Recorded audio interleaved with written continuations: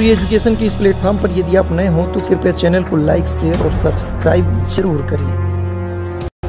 नमस्कार दोस्तों education academy में एक बार फिर से आप सभी लोगों का स्वागत है और आज के इस लेक्चर में हम लोग जो है वाणिज्यिक बैंक के बारे में अध्ययन करेंगे। इसके पूर्व में आप लोगों ने देखा था कि हम लोगों ने जो बैंकिंग व्यवस्था का प्रारंभ, बैंकिंग व्यवस्था का इतिहास, आरबीआई की किस तरीके से जो है स्थापना हुई, आरबीआई के क्या कार्य हैं, और पिछले लेक्चर में जो है साख नियंत्रण पर जो है आरबीआई किस तरीके से काम करता है जो कि आरबीआई का सबसे महत्वपूर्ण जो है कार्य है, उस लेक्चर को आप लोग ज़रूर देखिए, क्योंकि वहाँ से सवाल सीधे परीक्षा में पूछे जाते हैं कि आरबीआई की जो मॉनिटरी पॉलिसी है, यानी कि साख नियंत्रण की नीति है किन किन माध्यमों से व्यक्त किया जाता है, और इसी से आगे बढ़ते हुए हम लोग वाणिज्यिक बैंकों के बारे में जो है आज लेक्चर में जो है अध्ययन करेंगे। वाणिज्यिक बैंकों के जो एक सामान्य व्यवस्था को जानने का प्रयास करेंगे, और इसके साथ साथ जो है वाणिज्यिक बैंकों के क्या कार्य होते हैं और उनकी कुछ समस्याएँ हैं। इन तीन बिंदुओं के अंतर्गत हम लोग इसके समझने का प्रयास करेंगे। बेसिकली अगर देखा जाए तो आम जनता जिन बैंकों से जो है इंटरेक्ट करती है, जिन बैंकों के साथ काम करती है, अपने खाते खुलवाती है, पैसा जमा करती है लोन लेती है, वह सभी बैंक वाणिज्यिक बैंकों की ही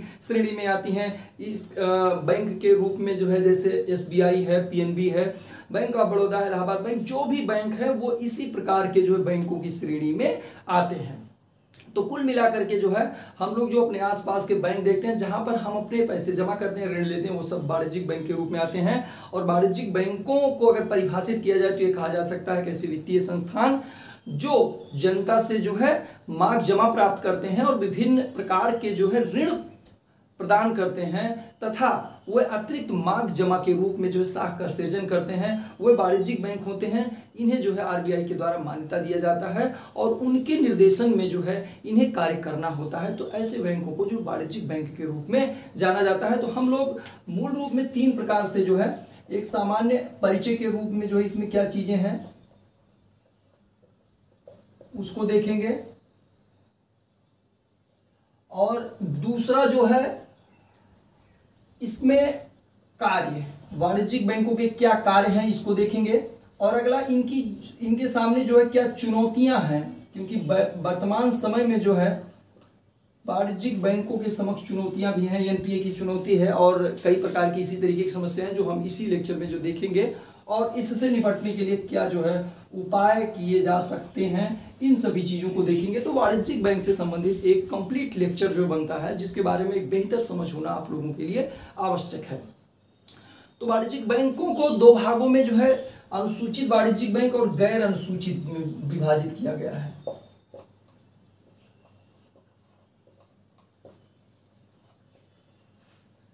माने कि ऐसे बैंक जो आरबीआई की दूसरी अनुसूची में सम्मिलित हैं, उन्हें जो है अनुसूचित जो है वाणिज्यिक बैंकों के रूप में सम्मिलित किया जाता है और वह बैंक जो इसमें सम्मिलित नहीं है वो गैर अनुसूचित बैंकों के रूप में, गैर अनुसूचित वाणिज्यिक बैंक के रूप में आते हैं।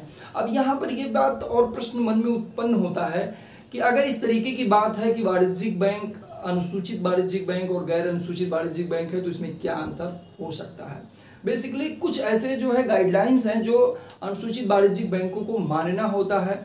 अब इसमें जैसे कि सी आर आर और एस एल आर जो कि हमने पिछले लेक्चर में बहुत ही डिटेल में इस पर चर्चा किया था कि कैश रिज़र्व रेशियो और स्टेचुरी लिक्विडिटी रेशियो को जो मेंटेन करना होता है और ये तरलता के रूप में एक तो अपने पास रखते हैं कैश रिज़र्व रेशियो वो आरबीआई के पास अपने मांग और संपूर्ण जो है जमाओ साबत जमाओं के एक निश्चित प्रतिशत के रूप में जो है रखते हैं।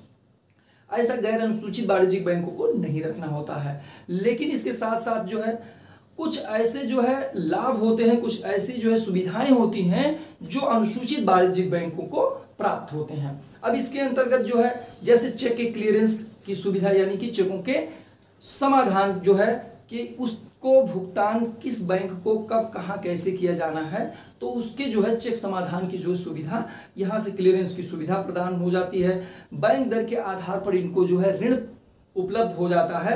तो इस तरीके के कुछ जो है निर्देशों का पालन भी करना होता है और कुछ सुविधाएँ जो है वो यूज़ भी करती हैं। तो इस आधार पर वाणिज्यिक बैंक और गैर वाणिज्यिक बैंक के बीच में जो है आ, इनका जो है अनुसूचित वाणिज्यिक बैंक और गैर अनुसूचित वाणिज्यिक बैंकों के रूप में इनका जो वर्गीकरण किया जाता है, वाणिज्यिक जो बैंकों को। इसके साथ साथ में जो है सार्वजनिक बैंक और निजी बैंक की बात आती है, जैसे दो प्रकार से जो है किया जाता है। और ये सार्वजनिक बैंक और निजी बैंक, ये जो है अनुसूचित वाणिज्यिक बैंक और गैर अनुसूचित वाणिज्यिक बैंक से पृथक होते हैं। ये दोनों एक नहीं है, क्योंकि इसका आधार जो है वो स्वामित्व होता है कि जिन बैंकों में सरकार की जो भागीदारी इक्यावन प्रतिशत से जो है अधिक होता है, वह जो है सार्वजनिक बैंक होते हैं और जिनमें जो है ये कम होता है, वो निजी बैंक की श्रेणी में जो है आते हैं। तो ऐसे बैंकों का वर्गीकरण जो है किया गया है कि सार्वजनिक बैंक और निजी बैंक, ये दोनों जो है अनुसूचित वाणिज्यिक बैंक और गैर अनुसूचित वाणिज्यिक बैंकों से जो है वो पृथक होते हैं। अब इसके साथ में हम लोग ये देखेंगे कि जो है भारतीय बैंक और विदेशी बैंक का भी एक जो है व्यवस्थाएँ होती हैं, जो भारतीय बैंक और विदेशी बैंक भी होती है, जो यहाँ के लोगों के द्वारा जो है, यहाँ के आरबीआई के निर्देशन में बैंकिंग अधिनियम उन्नीस सौ उनचास के जो है माध्यम से स्थापित किए जाते हैं। वह जो है भारतीय बैंक की श्रेणी में आते हैं और इसी तरीके से कुछ ऐसे बैंक हैं जो विदेशों में, विदेशों की शाखाओं के रूप में स्थापित होते हैं या विदेशी बैंक ही यहाँ पे स्थापित कर दिए जाते हैं। जिनका कि जो है जो आ, मूल रूप में जो है कहीं दूसरे देश के जो है लोग होते हैं और यहाँ आकर के जो है स्थापित करते हैं उनकी अपनी पूंजी लगती है। लेकिन वह भी जो है बैंक यहाँ के नियमों के अंतर्गत जो है संचालित किए जाते हैं। 2000 ईस्वी तक 2000 ईस्वी तक ये केवल अपनी शाखाएँ खोल सकते थे। यानी कि जो विदेशी बैंक है। विदेशी बैंक के बारे में ये प्रावधान था कि 2000 ईस्वी तक जो है, ये 2000 ईस्वी तक केवल अपनी शाखाएँ खोल सकते हैं, लेकिन इसके बाद में जो है, ये अपनी जो है, सहायक बैंक भी खोल सकते हैं, जिनकी की जो न्यूनतम पूंजी जो है, ढाई करोड़ रुपए जो है, होना चाहिए। तो इस तरीके के समय समय पर जो है, नियम भी बनते रहे। तो कुल मिलाकर के अनुसूचित वाणिज्यिक बैंक, गैर अनुसूचित वाणिज्यिक बैंक, सार्वजनिक बैंक, निजी बैंक, भारतीय बैंक और विदेशी बैंक, इन सभी के बीच में कुछ अंतर है। जिसे जो है शायद आप लोगों के स्तर पर ये जो है स्पष्ट हुआ होगा। तो ये जो है एक कुल मिलाकर के एक जो व्यवस्था है।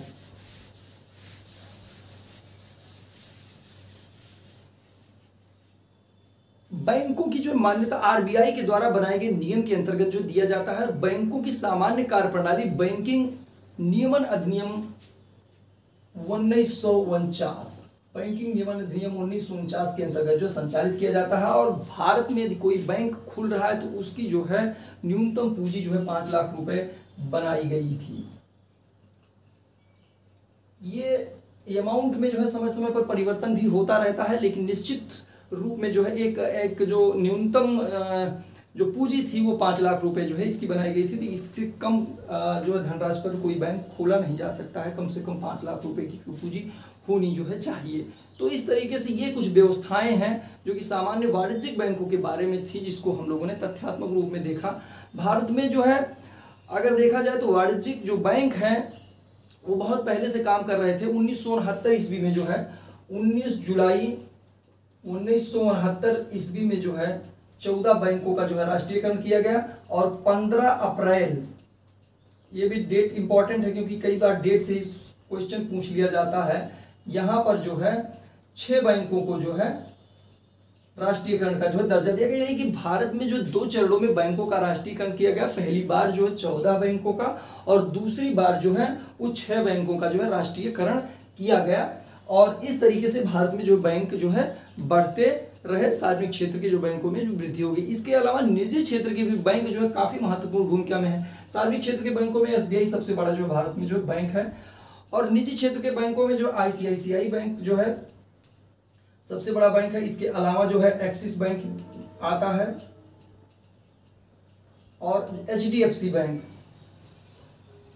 H D F C bank ये महत्वपूर्ण बैंक है। यद्यपि समय समय पर बाद में भी कई सिटी बैंक और अलग अलग कई बैंक जो है स्थापित हुए, लेकिन मुख्य रूप में यही अपनी भूमिका अदा करते हैं और यही देखने में जो आते हैं तो सार्वजनिक बैंकों के साथ साथ जो है निजी बैंक भी जो है ये भी वाणिज्यिक किस्म के ही बैंक हैं। यानी कोई बैंक जो है, सार्वजनिक बैंक होने के साथ साथ भी वाणिज्यिक बैंक हो सकता है, निजी बैंक होने के साथ साथ भी वाणिज्यिक। तो दोनों के वर्गीकरण का एक अलग आधार है कि जो है वाणिज्यिक बैंक जो है गैर वाणिज्यिक बैंक और सार्वजनिक बैंक और निजी बैंक किस तरीके से जो है होते हैं और एक दूसरे भी प्रकार में जो है वो सम्मिलित हो सकते हैं। आईसीआईसीआई बैंक एक कंपनी के रूप में जो है 1955 ईस्वी में जो है स्थापित किया गया था। इसे 2002 ईस्वी में जो है इसे बैंक के रूप में जो है मान्यता दे दिया गया। एक्सिस बैंक जो है ये यूटीआई बैंक के रूप में पहले जो है स्थापित किया गया था उन्नीस ईस्वी में।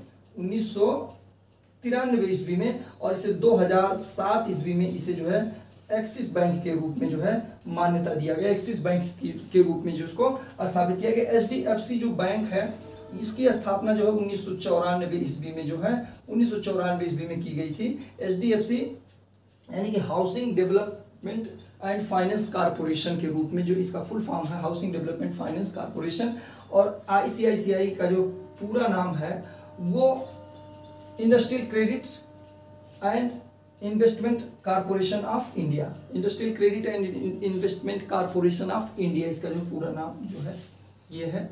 और ये जो है एच का जो है हाउसिंग डेवलपमेंट फाइनेंस कारपोरेशन इसका पूरा नाम है, जो इस रूप में जो स्थापित हुए कुछ महत्वपूर्ण जो बैंक होते हैं, उनके बारे में कुछ तथ्यात्मक जानकारी भी जो है होना चाहिए, जिससे हम कभी कभार परीक्षा में उत्तर लिखते समय अपने उत्तर को जो है, प्रभावी बना सकते हैं, जो है।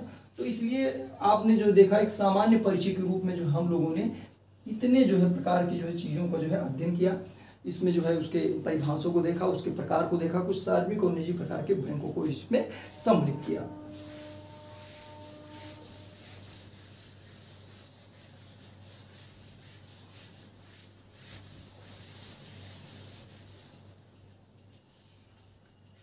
अभी हम लोग इसके कार्य को देखते हैं। वाणिज्यिक बैंकों का तीन महत्वपूर्ण कार्य है। वाणिज्यिक बैंकों का तीन महत्वपूर्ण कार्य है। एक तो मांग जमा,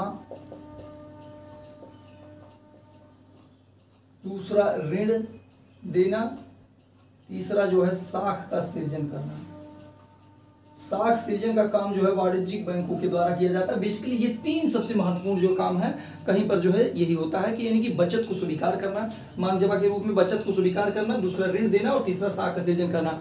व्यक्ति की जो भी इनकम किसी वित्तीय वर्ष में होती है, उसके उपभोग के बाद जो भी बचता है, वो व्यक्ति बैंकों के पास जमा करता है ताकि बैंक जो है उस पर एक निश्चित दर से जो है ब्याज दे सके और उसकी जो जो बचत है, उसमें वृद्धि हो सके। तो कुल मिलाकर के जो है मांग जमा होती है। और इसके लिए जो है, बैंकों में जो है कई तरीके के जो है खाते भी खोले जाते हैं। जैसे बचत खाते खोले जाते हैं, चालू खाते खोले जाते हैं। बचत खाते की एक सीमा होती है। चालू खाते में इस तरीके से कोई लिमिटेशन नहीं होती है कि कितनी भी अमाउंट और कितनी भी बार जो है निकाला और जमा किया जा सकता है, लेकिन उस पर कोई ब्याज दर नहीं मिलता है।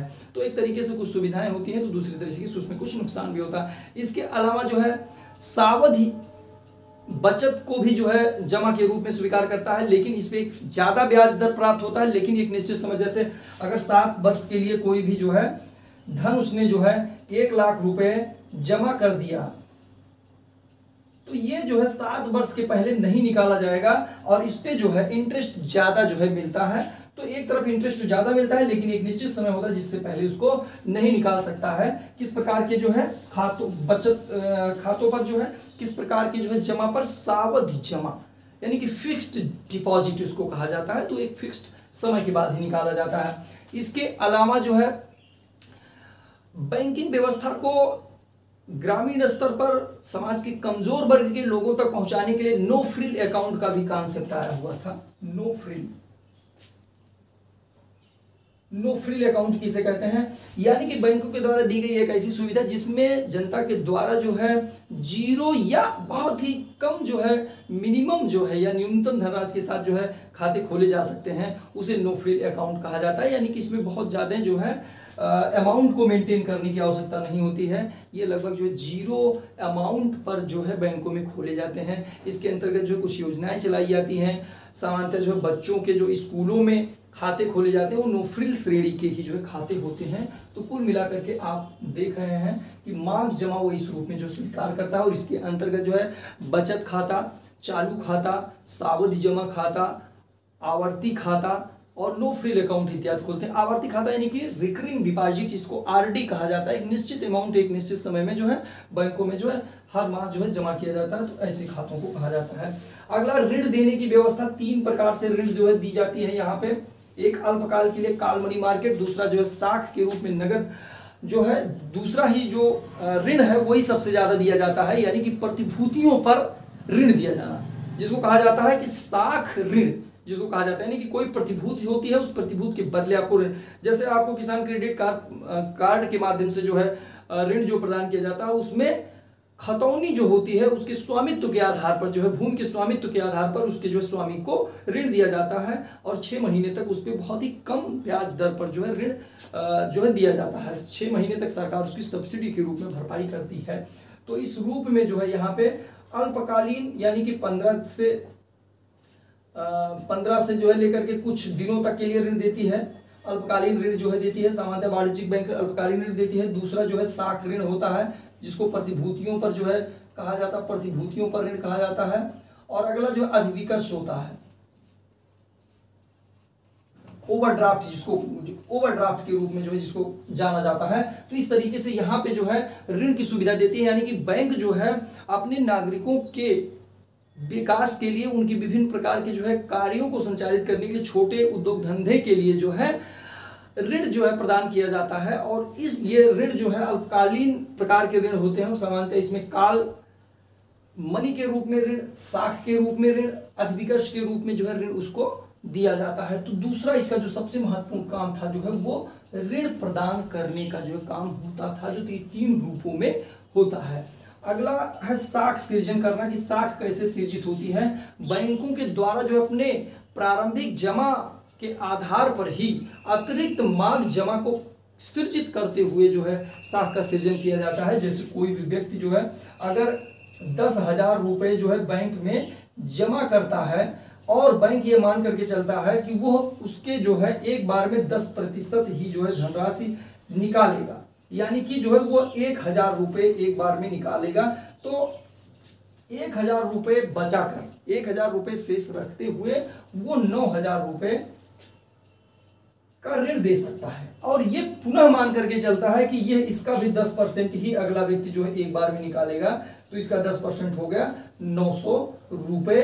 अब इतना रुपए जो है वो बचा करके शेष जो है इक्यासी सौ रुपये आठ हज़ार एक सौ रुपये वो पुनः जो है वो अतिरिक्त देता के रूप में, अतिरिक्त दे धनराशि के रूप में जो है वो ऋण दे सकता है। तो इस तरीके से ये अतिरिक्त मांग जो है सृजित हो रही है और ये अतिरिक्त मांग का सृजन ही जो है साख का सृजन कहलाता है और यह तब तक जो चलता रहता है जब तक कि जो है अतिरिक्त दे धनराशि जो है शून्य नहीं हो जाती है। तो ये व्यवस्था कहलाती है जो है वो साख का सृजन।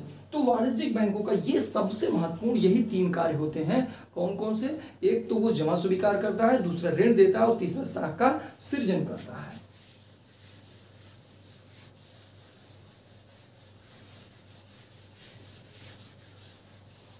इसके कार्य के बाद जो है इसकी कुछ चुनौतियाँ हैं जो है। चुनौतियाँ ये है कि सबसे महत्वपूर्ण चीज़ ये है कि एनपीए का जो है बढ़ना, दूसरा जो है सीआरआर का जो है उच्च दर होना और निर्देशित निर्देशित ऋण की व्यवस्था और प्रतिस्पर्धात्मक क्षमता का अभाव।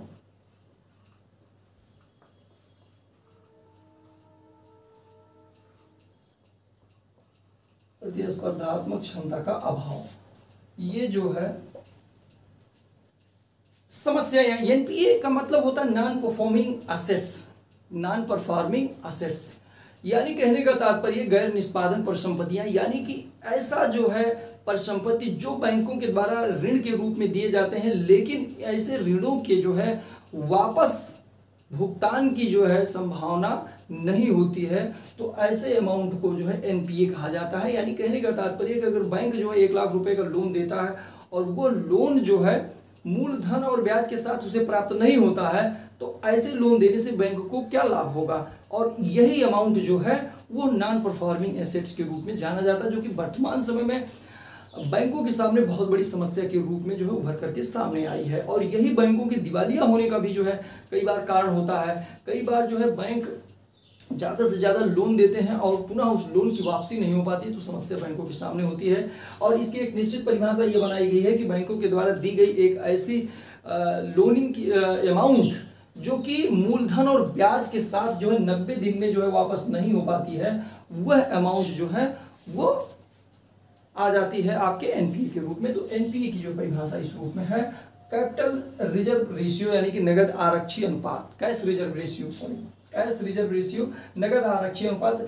जब बैंकों को अपनी सावधि मांग जमा का एक निश्चित जो प्रतिशत आरबीआई के पास ही रखना है तो ऐसी स्थिति में वो अपना बिज़नेस कैसे कर पाएँगे, ऋण कैसे दे पाएँगे, अतिरिक्त शाखा सृजन कर पाएँगे तो इन कारणों से भी जो है ये चीज़ आती है। और इसके जो है ज़्यादा उच्च स्तर पर रखने का भी कारण ये होता है कि बैंकिंग व्यवस्था का मज़बूत रूप में ना होना बैंकिंग व्यवस्था यानी कि देश की इकोनॉमी या जो है आर्थिक व्यवस्था में लोगों का विश्वास न पैदा हो पाना, इन कारणों से भी जो है आरबीआई के द्वारा ऐसे रूल्स रेगुलेशन बनाने पड़ते हैं ताकि कैश रिज़र्व रेशियो के रूप में जो है एक अमाउंट निश्चित अमाउंट जो बैंकों के पास आरबीआई के पास रखा जाए ताकि विशेष प्रकार की जो है आपदा या विशेष परिस्थितियों में इससे निपटना संभव हो सके। तो ये रखा जाता है। निर्देशित ऋण व्यवस्था का मतलब ये होता है कि अर्थव्यवस्था के कई ऐसे क्षेत्र हैं जो विकास की दौड़ में पीछे हैं, कई ऐसे संवेदनशील क्षेत्र हैं, कई ऐसे पिछड़े क्षेत्र हैं। तो वहाँ पे जो है आरबीआई के द्वारा रूल बनाया जाता है कि अपने संपूर्ण ऋण का इतना प्रतिशत, एक निश्चित प्रतिशत वहाँ पर आप ज़रूर ऋण के रूप में दीजिए। तो चूँकि वहाँ पे लाभ कम होता है, इसलिए यहाँ पे जो है बैंकों को जो है लाभ प्राप्त नहीं हो पाता या बहुत देर में जो है प्राप्त होता है। तो इस कारण से भी जो है ये एक महत्वपूर्ण जो है समस्या और चुनौती होती है। प्रतिस्पर्धात्मक क्षमता का जो है अभाव, प्रतिस्पर्धात्मक क्षमता का अभाव का मतलब ये होता है कि जब बैंकिंग प्रणाली बहुत मज़बूत नहीं होती है, लोगों में आर्थिक शिक्षा का अभाव होता है, एक आर्थिक व्यवस्था में साख का अभाव होता है तो वहाँ पर प्रतिस्पर्धात्मक क्षमता भी घट जाती है, जिससे बैंकों के परफॉर्मिंग जो स्टेटस होता है, वो कहीं ना कहीं घटता है। तो ये मूल रूप से समस्याएँ आई हैं और इससे निपटने के लिए जो उपाय भी कुछ बनाए गए हैं, जिसमें जो है समितियाँ और आयोग बनाए गए हैं। तो उन्नीस सौ इक्यानवे ईस्वी में और 1900 जो है अट्ठानवे ईस्वी में नरसिंहम समिति का जो गठन किया गया था, इस समिति ने जो बैंकों की समस्त व्यवस्था, उसकी कार्य प्रणाली उसकी समस्याओं का अध्ययन किया और अध्ययनोपरांत उसने जो है कुछ रिकमेंडेशन दिया। उन रिकमेंडेशन में चार महत्वपूर्ण रिकमेंडेशन थी। एक तो बैंकों के विलय पर उसने ज़ोर दिया, प्रतिस्पर्धात्मक क्षमता पर बल दिया स्वायत्तता पर बल दिया और C A R capital adequate ratio पर उन्होंने जो है बहुत ज़्यादा ज़ोर दिया, यानी कि जिसको हिंदी में आप बोलते हैं पूंजी पर्याप्तता अनुपात। पूंजी पर्याप्तता अनुपात। Capital adequate ratio C A R इस पर ज़्यादा जो है बल दिया जा रहा है कैपिटल एडिक्वेट रेशियो कई बार अब बैंकिंग के क्षेत्र में या विभिन्न प्रकार के एनबीएफसी जैसे संस्थाएँ हैं, उसके लिए ये बनाई गई है व्यवस्था की कैपिटल एडिक्वेट रेशियो पंद्रह से कम नहीं होना चाहिए, इसलिए अलग अलग संस्थाओं के लिए ये निर्धारित किया जाता रहा है कि पूंजी पर्याप्त अनुपात जो है बेहतर होना चाहिए। तो ये व्यवस्था बनाई गई है। कुछ संस्थागत स्तरों पर प्रयास जो है किए गए एक तो ये जो है समिति थी। कुछ संस्थागत स्तरों पर जो है भी प्रयास किए गए। संस्थागत स्तरों पर प्रयास में जो है उन्नीस ईस्वी में जो है उन्नीस सौ बासठ ईस्वी में बनाया गया जो है जमा बीमा निगम। जमा बीमा निगम बनाया गया उन्नीस सौ बासठ ईस्वी में, जमा बीमा निगम बनाया गया। 1900 और इसके बाद जमा बीमा निगम के जो है साथ साथ जो साख गारंटी निगम बनाया गया यद्यप उन्नीस सौ अठहत्तर ईस्वी में जो है इसका विलय दोनों का कर दिया गया। उन्नीस सौ अठहत्तर ईस्वी में जो है इसका दोनों का विलय कर दिया गया। यानी कि जमा बीमा निगम और साख गारंटी निगम। जमा बीमा निगम और साख गारंटी निगम। दोनों को जो उन्नीस सौ अठहत्तर ईस्वी में जो है जमा एवं साख गारंटी निगम के रूप में जो है कर दिया गया। यह जो है दिए जाने वाले ऋण और उसके जोखिम से कम करने में बैंकों का जो है मदद करते हैं। और अगली व्यवस्था थी सामाजिक नियंत्रण। अब सामाजिक नियंत्रण बैंकों को जो है सामाजिक क्षेत्रों में काम करने के लिए जो है प्रेरित करता है। इसका तात्पर्य जो है समाज का बैंक पर नियंत्रण नहीं, बल्कि जो है सामाजिक उद्देश्यों को पूरा करने के लिए बैंकों की भूमिका को स्वीकार करना और उस क्षेत्र में जो है बैंकों के द्वारा विभिन्न प्रकार के लोन और ऋण उपलब्ध जो है कराया जाना। ये व्यवस्था उन्नीस ईस्वी से जो है, ये व्यवस्था उन्नीस ईस्वी से जो है मूल रूप में प्रारंभ हुई है। इसके साथ साथ जो है एक कंजोर्टियम व्यवस्था भी जो है, कंजोर्टियम व्यवस्था भी जो है प्रारंभ की गई है।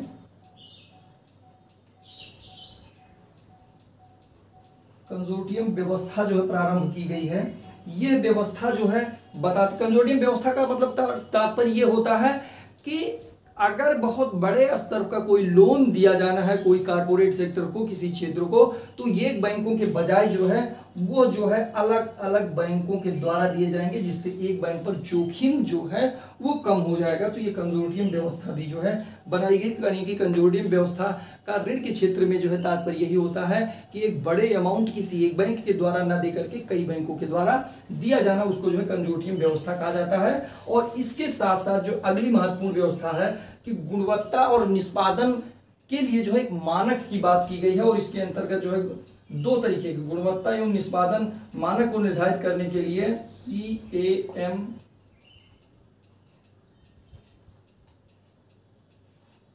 C S C S यह जो है अंतरराष्ट्रीय स्तर पर लागू किया गया है।